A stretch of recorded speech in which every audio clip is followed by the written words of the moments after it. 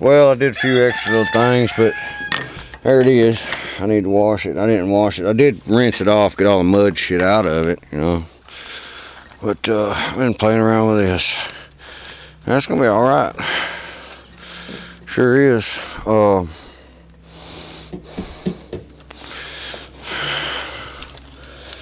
hmm.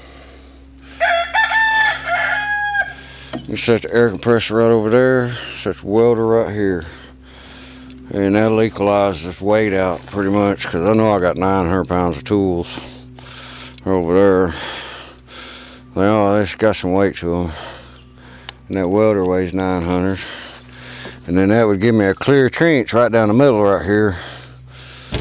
Uh, be able to put steel and shit like that up in there. And we'll bring that winch out and set it on here sometime. Not today, maybe tomorrow. And uh, put it on. See what kind of height difference I got here. What I got to deal with.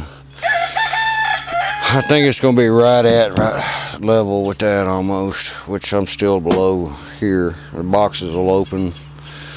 What I'll do is I'll just cleat it down.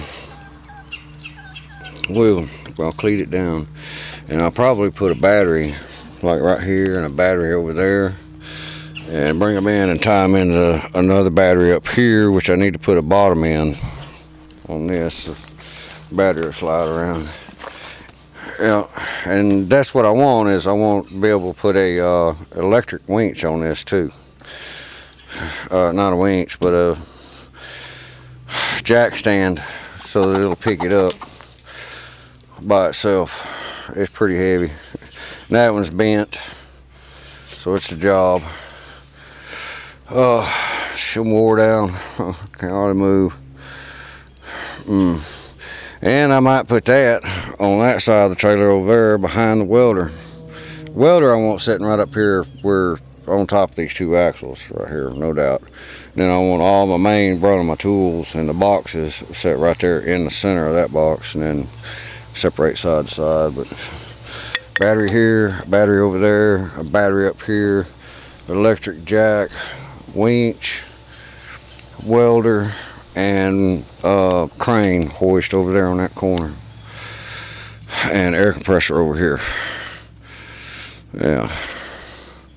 I think it'll be alright. Alright, y'all.